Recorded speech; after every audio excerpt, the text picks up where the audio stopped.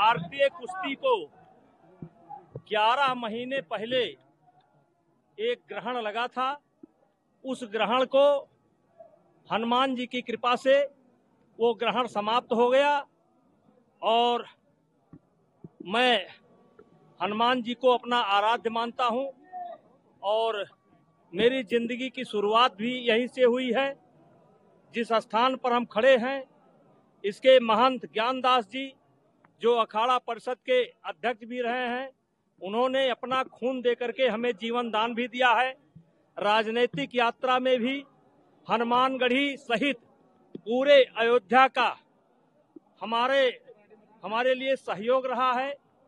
मान अपमान सह करके भी अयोध्या के संतों ने हमारे लिए खड़ा होने का काम किया है, और इसलिए मैं आज दर्शन करने के लिए आया हूँ। जहाँ तक अगला प्रश्न आपका होगा, चुनाव के संबंध में तो भारतीय, हम भारत सरकार को धन्यवाद देते हैं और खेल मंत्रालय को धन्यवाद देते हैं, जिन्होंने निष्पक्ष ढंग से वोट कराया। कुल 50 मतदाता थे, उसमें से एक मतदाता मध्य प्रदेश के मुख्यमंत्री बन गए, जिस कारण उनका आना नहीं हो पाया। दो मतदाता विदेश में थे, वो हमारे थे, मध्य प्रदेश का मत भी हमारा ही था, लेकिन सैतालीस मत पड़े।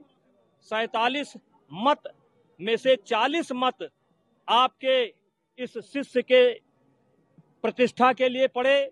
मैं पूरे देश के उन मतदाताओं का धन्यवाद देता हूँ।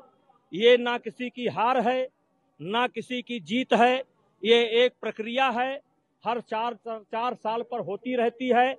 और देश के पहलवान, जो जूनियर पहलवान है, ये उनके भविष्य की जीत है। और मैं किसी को हारा हुआ नहीं मानता, मैं किसी को जीता हुआ नहीं मानता। ये चार साल पर एक सामान्य प्रक्रिया होती है, जिसके बाद ये चुनाव होता है। हाँ जिसको हमने समर्थन किया था, बनारस के रहने वाले हैं भुइहार बिरादरी के हैं, और मोदी जी के संसदीय क्षेत्र से है। कुश्ती से बीसों वर्ष से जुड़े हैं। इनका परिवार भी कुश्ती करता था। आपने अपना क्या नाम था बड़े पहलवान का? मंगला राय। मंगला राय जो देश के बड़े पहलवान होते थे सुखदेव राय एक जमाना था। ये उन्हीं के परिवार से संबंधित है। कुश्ती से ये परिवार जुड़ा हुआ है। लेकिन फिर मैं कहना चाहता हूँ ये किसी की जीत नहीं है किसी की हार नहीं है। ये कुश्ती के भविष्य की जीत है। मैं मैं किसी के व्यक्तिगत ऊपर बोलने के लिए नहीं आया हूँ। मैं और ना किसी के दया पर जीता हूँ। ये मतदाताओं ने जिताया है और देश के पहलवानों ने जिताया है और मैं हरियाणा के पहलवानों को जिंदाबाद करता हूँ हनुमानगढ़ी अयोध्या से।